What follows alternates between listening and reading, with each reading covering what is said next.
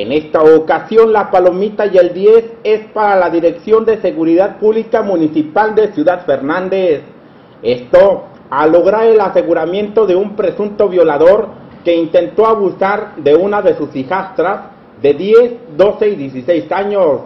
Fue el día de hoy, alrededor de las 8 de la mañana, en que el radiooperador recibió una llamada del 066, en la cual reportaban que un sujeto trató de abusar de una menor en la calle Juárez de la comunidad Cruz del Mezquite. De inmediato se implementó un fuerte operativo hacia la Cruz del Mezquite, llegando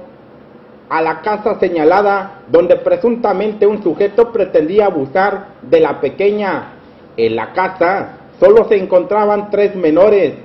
de 10, 12 y 16 años de edad, las cuales manifestaron que el presunto era el esposo de su madre y que minutos antes esta persona trató de abusar de una de ellas,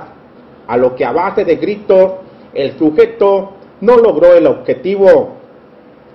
Las menores mencionaron que el presunto se encontraba aún dentro de la casa, pues al parecer andaba aún bajo los efectos del alcohol. Al entrar los policías municipales, el presunto ya se había dado a la fuga,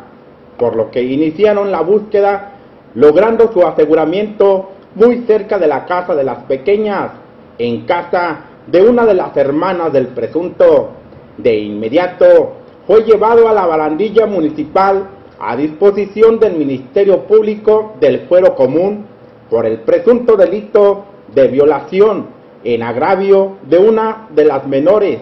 Cabe mencionar que el sujeto fue llevado ante el doctor legista de la Subprocuraduría para la región media, doctor Eduardo Ortiz Balbuena, de la madre de las niñas, extraoficialmente se dio a conocer que el sujeto, con la mala intención, mandó a su cónyuge a sacar las placas de una moto o camioneta, aprovechando de esta manera en que las menores se quedaran solas para saciar sus bajos instintos por fortuna, la Policía Municipal de Ciudad Fernández actuó de manera rápida, logrando el aseguramiento de quien dijo llamarse Oscar Jaca Grajales, de 36 años y con domicilio conocido en la Cruz del Mezquite.